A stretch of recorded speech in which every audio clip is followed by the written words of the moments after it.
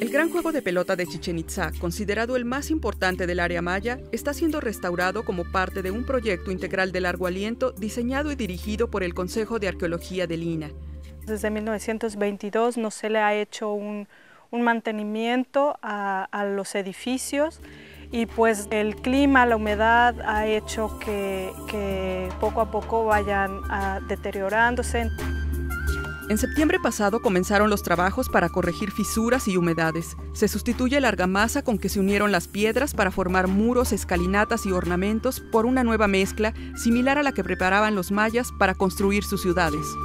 Es un procedimiento en el cual eh, se limpian y se consolidan los edificios desde el núcleo y a través del uso de un escáner en tercera dimensión, los especialistas observaron detalles de deterioro imperceptibles a simple vista que ahora pueden corregirse.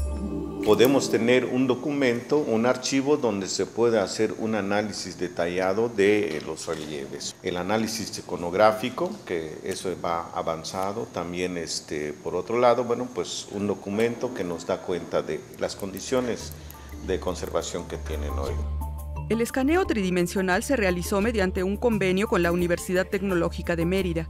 Las imágenes en 3D también han permitido avanzar en la investigación iconográfica de seis relieves tallados en las banquetas del juego de pelota, pues ahora se saben detalles de la indumentaria, los peinados y posiciones de las manos antes desconocidos.